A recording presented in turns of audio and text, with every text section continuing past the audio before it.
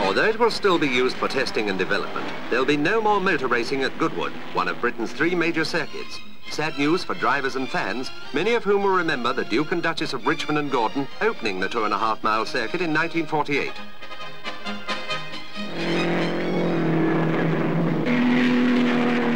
Reason for the closure? The track is unsafe for the new Grand Prix Formula and the big sports cars, so much faster than the machines of 18 years ago.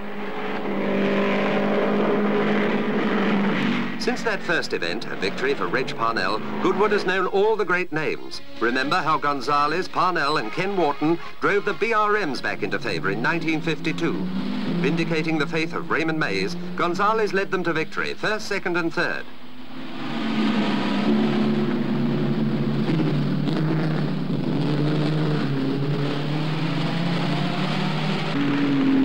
Also in 1952, the first major win for a dazzling young driver, Mike Hawthorn.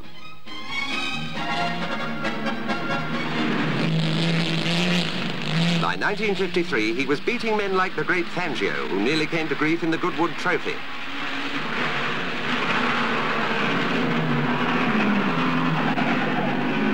Hawthorn drives to victory in the Thin Wall Special.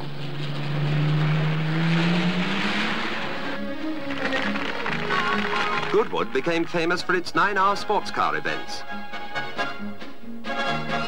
Stirling Moss drove in almost every major meeting until that tragic day in 1962. The injuries he received in his 100-mile-an-hour crash forced him to give up racing at the climax of his career.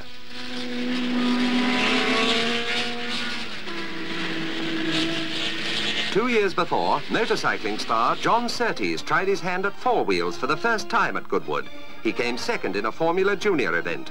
Four years later, he took the world title. The careers of Graham Hill, another world title holder, has always been closely tied up with Goodwood. That was his TT win in 63.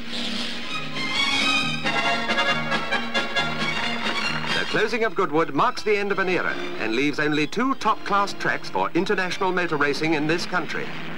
Thank you.